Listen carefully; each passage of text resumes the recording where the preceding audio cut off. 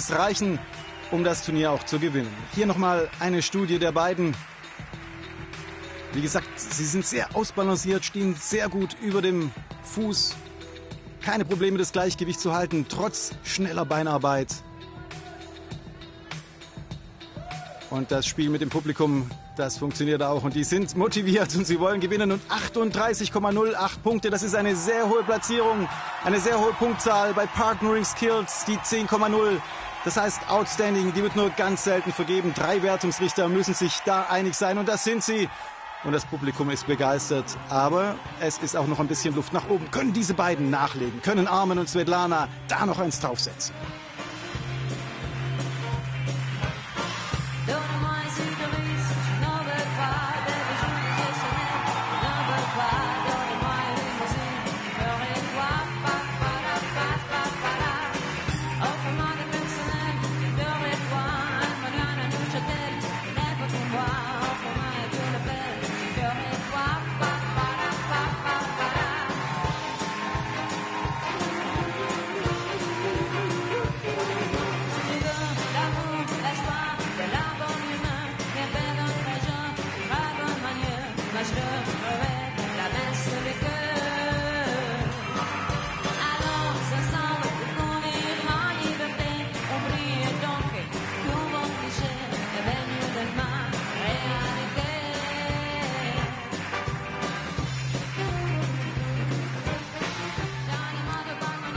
Für meinen Geschmack ist dieser Jive mit diesem Show-Element ein bisschen besser ausgetanzt.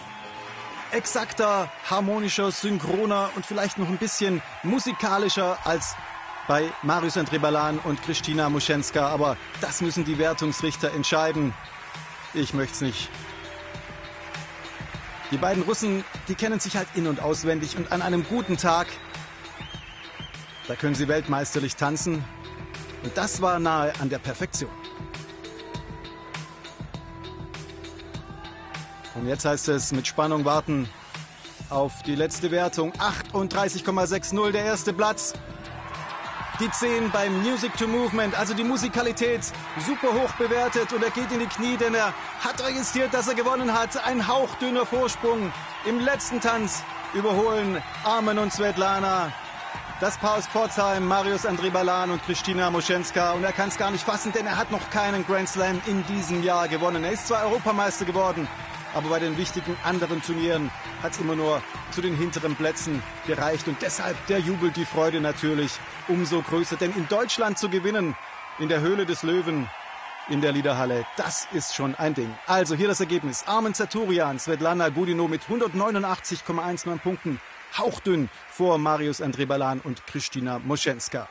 Jetzt ist äh, auf jeden Fall alles offen für das Weltmeisterschaft im November. Ähm, die Paare tauschen jetzt und das ist gut, äh, weil das gibt Hoffnung für uns sehr für, für das Weltmeisterschaft. Die Paare tauschen, das heißt, es gibt immer wieder einen neuen Sieger. Die Sieger von Stuttgart heißen Armen Zeturian und Svetlana Gudino aus Russland.